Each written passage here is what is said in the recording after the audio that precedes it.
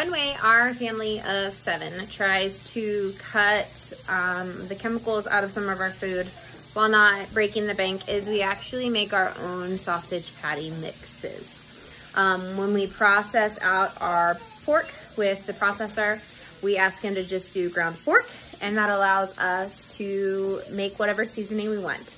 Whether we want breakfast seasoning, Italian sausage, anything like that. But that allows us to make our own without having things in it like MSG and things like that that cause issues um, with migraines and health in general.